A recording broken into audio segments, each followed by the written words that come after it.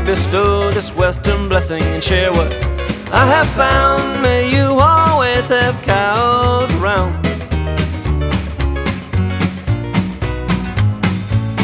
What else you gonna spend that extra money on? What else is gonna get you up hours before dawn?